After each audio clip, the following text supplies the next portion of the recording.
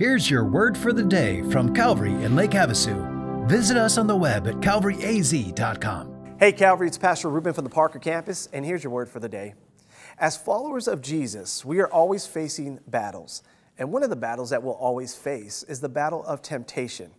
And as followers of Christ, we have to be aware of the danger of temptation.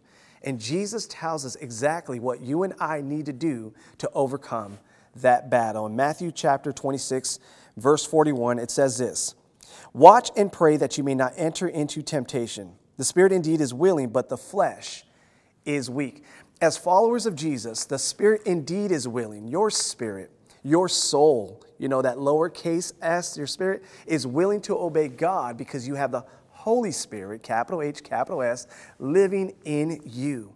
But the flesh, your human sinful nature, is weak because it pursues sin, wanting to do things contrary to the will of God.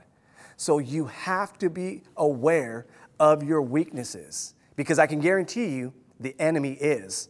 You know, the devil and his demons know exactly what temptations to throw your way, to trip you up, to make you stumble so that you stop following God.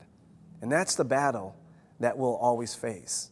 But don't lose heart because Jesus tells us exactly what we need to do to overcome that battle. He said to watch and pray that you may not enter into temptation.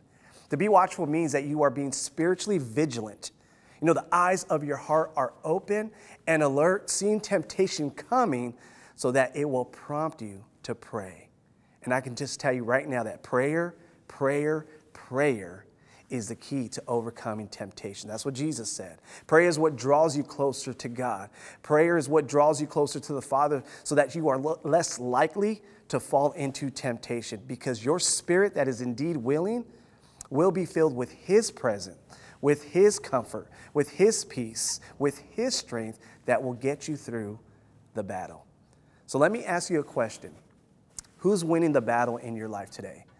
Is it the spirit or is it the flesh? Well, it depends, doesn't it?